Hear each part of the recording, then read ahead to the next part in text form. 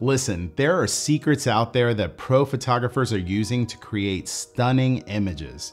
Secrets that they're using to drive their businesses forward to success and leave their competition behind. Learning and implementing these secrets that I'm sharing in this video will help you to leap ahead. I gotta say though, number four on this list is probably going to trigger some of you, so make sure you stick around to the end. Without further ado, these are the five secrets pro photographers don't want you to know. Starting off our list, the first secret is that the quality of your images doesn't really matter. I'm sure many of you have either seen or know a photographer who produces amazing quality images, yet they can't seem to make enough money in photography to sustain their business. On the other hand, there are many photographers out there producing lower quality images that somehow seem to be in business for decades. How does this make any sense? We hear all the time that getting that new camera or lens will help us to get better quality images that in turn will possibly make us more money. The reality is that pros out there making money in photography aren't necessarily pumping out A-level quality of images. The secret is that they're producing consistency in whatever level of images that they're producing. If you're a photographer today looking to become a successful pro, focus on delivering consistent quality of whatever level of photography you might be able to produce. You'll have your competition wondering how you're still around making money with your photography while you're smiling all the way to the bank. Up next on our list of secrets pros don't want you to know is the importance of post-production. Many pros out there try to downplay the role that retouching plays in the final output of their work. The reality is that most professional photographers are taking their images in RAW format, which captures the widest dynamic range in their images and allows them to make all sorts of adjustments without destroying the quality of their work. RAW files typically lack the contrast, sharpness, and color saturation that you would get baked into your images if you shot them in JPEG, so they all need to be processed in programs like Lightroom and Photoshop to get pro results. Cameras nowadays are capturing images with more megapixels and detail than ever.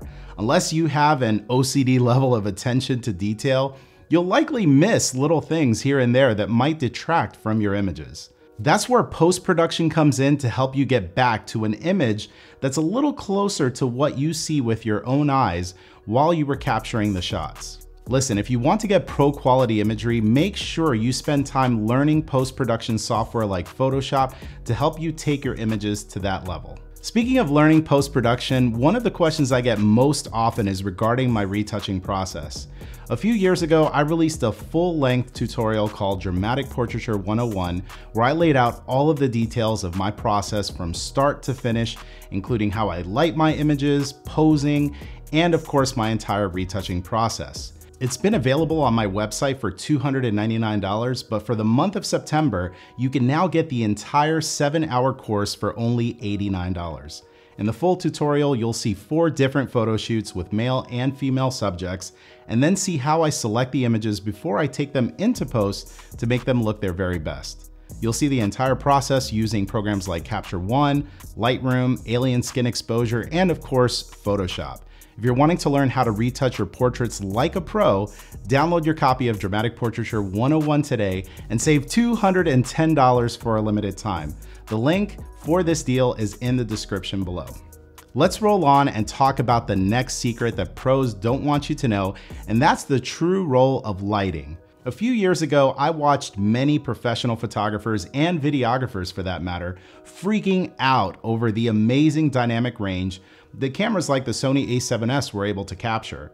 They were putting out these tests where they were taking images in near darkness and then boosting it up in post-production. Here's the reality though, while cameras are getting better and better at allowing us to capture images in less than ideal situations, the truth is that you need great lighting if you're gonna capture truly great images. If you're capturing images in crappy light, you're likely going to end up with a crappy image overall. If I had to pick one thing that I believe would take images to a professional level, I'd say the simple answer is lighting.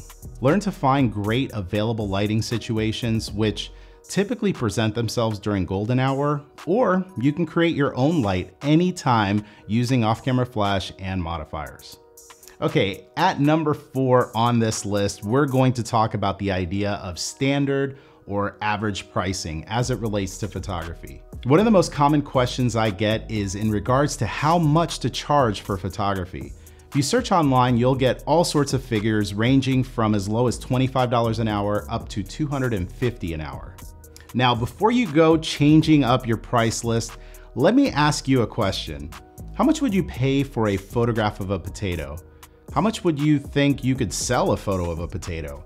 The question may sound silly, but allow me to share with you the story of photographer Kevin Abosch. Back in 2015, he was able to sell a photograph of a potato on a plain black background for, get this, 1 million euros. That's just over a million dollars here in the US for what may be one of the most basic photos I have ever seen. This story illustrates the secret that I wanna make sure you all learn, and that is that standard pricing in the art of photography doesn't really exist. Listen, you're able to charge as much as your market and talent allows. Just like anything else out there, the market will decide whether or not your images are perceived as being worth what you're asking for. But understand that pro photographers aren't concerned with this idea of standard or average prices for particular images. They create images and sell them for as much as they can possibly get, regardless of what others are charging. In at number five, one of the big secrets that pros don't want you to know is the role that social media plays in their success. While most photographers do a good job of sharing their images on websites like Facebook and Instagram, they aren't doing it with any type of strategy or purpose in mind other than just getting likes. Pro photographers use social media to put their images directly in front of their potential clients with a goal of getting hired for their work. Many aspiring photographers wait patiently, hoping that a client or brand will contact them and throw lots of money their way to shoot. The secret is that pro photographers are oftentimes paying with their own money to shoot campaign quality images and gain the attention of the people that they would like to work with. I've known many pros who have paid tens of thousands of dollars to book models, wardrobe and hairstylist and a location to add images to their portfolio just so they can turn around and use those images to approach companies to get hired. Oftentimes they do this via social media by sending direct messages and tagging the brands in their timelines and stories. So you may not have that kind of money to put together a high budget production, but that shouldn't stop you from creating great images of your own and developing a social media strategy to attract potential clients' attention and give them confidence that you're the right person for the job. There are so many more secrets that I'd love to share with you that I'll leave for a future video, but if you found this one useful, do me a favor and subscribe to my channel. Leave a like and maybe share it with your photography friends. I also invite you to join my Facebook group, Improve Your Photography with Miguel Quiles. There you can share your images, ask questions, and socialize with other creatives. I'll leave a link for that in the description for this video, so stop on by and I'll see you there.